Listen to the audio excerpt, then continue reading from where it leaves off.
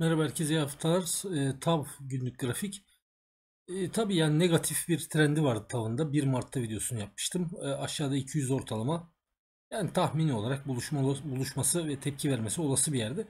TAV'ın tepkisi daha şey olumlu yalnız onu söyleyeyim ben. Diğer e, Pegasus mesela Türk Hava Yolları biraz daha zorlanıyordu. Gerçi Türk Hava Yolları da 25-26 bandında bir tutundu ama e, biraz önce Pegasus yaptım mesela. O daha zayıf bir tepkide. TAV'ın burada bir miktarda daha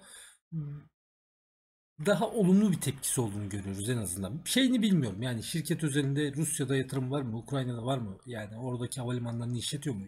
Hiç bildiğim bilgiler değil. Onun için hani temel analizle alakalı sorularınızı yanıtlayamam. Ee, teknik olarak 200 ortalama. 30 lira seviyesi zaten bir tepki bölgesiydi. Oradan bugünkü hareketleri 33.74'e kadar çok güzel bir tepki aldık. Genellikle 20 ortalamaya yani 8 kırıldıktan sonra bir temas beklenir. O ihtimal hala bir parçada olsa devam ediyor. Bugünkü mum iyi değil. Yani baktığın zaman oldukça satıcı. Bu tür mumların ertesi günlerinde bir miktar satılması olasıdır bir varlığın. Ama yani yine iyiye yoralım. Çok fazla fark yok. 32.58, 32.5. Belki hani bir olumlu bir gün geçirirse yukarıda 34-30 tepki bölgesinin devamı onu söyleyeyim. 34-30 kırılırsa bir miktar daha olumlu bir belki trende bir şey bürünebilir orada. Yani trendi biraz daha düzeltebilir. E, yukarı doğru hareketinde devamı e, gelme olasılığı artar diye düşünüyorum. O yüzden 34-30 önemli bir alan. Aşağıda bundan sonra e, özellikle tepki için alanlar ve uzun vade, orta vade tutmayı düşünenler varsa onlar 30 lirayı takip edebilir.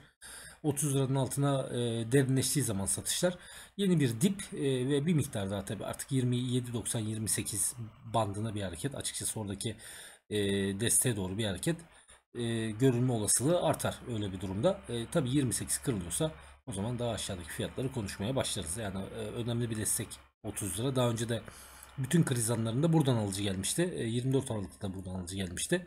Yine aynı yerden alıcının geldiğini görüyoruz. E, dolayısıyla bunun kırılması işleri biraz daha karmaşıklaştırabilir. O yüzden e, o kısma odaklanmak, biraz dikkat etmek lazım. RSI bir miktar düzeltti kendini. 41 yani hafif bir sönümlenme düşüşte gösterdiği şey bize o. Yine MACD'de bir miktar sert o düşüşün sönümlendiğini gösteriyor. Olumlu bir şey tabii ki söylemek pek mümkün değil bu kadar hareket karşısında. Ee, yani 30 liradan ama aşağı gitmezse yani bu e, dip dibi derinleştirmezse bir miktar e, canlı kalma ihtimali olabilir. 200 günün üstünde kaldıkça en azından e, yatırımcının tam anlamıyla vazgeçmediğini söylemek mümkün olur TAV havalimanları için. Bunların dışında maalesef anlatabileceğim e, herhangi başka bir şey yok. Herkese iyi akşamlar.